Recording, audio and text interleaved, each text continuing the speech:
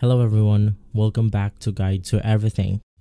In today's video, we'll talk about GitHub Copilot Agent versus Cursor. So if you're choosing between GitHub Copilot Agent and Cursor, here's a quick breakdown. Now, GitHub Copilot Agent is OpenAI powered and now acts like an AI dev teammate. It helps you write, edit, debug, and even explain code inside your IDE. It's great for GitHub workflows, and it keeps getting smarter with repo context and natural language understanding. Cursor, on the other hand, is a VS Code-based AI editor built around Copilots.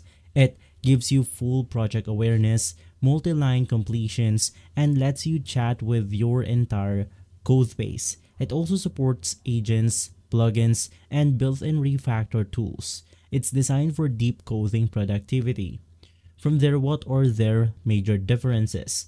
Basically, the Copilot agent feels like an assistant inside your IDE. Cursor feels like the IDE is the AI. Cursor gives you more control and visibility into what's happening.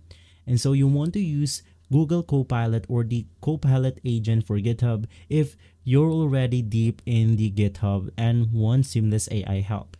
You want to go for Cursor if you want a full AI first coding environment built from the ground up. And so, if this review or guide has been helpful, leave a like, subscribe, and follow Guide to Everything for more videos like this. Thanks for watching.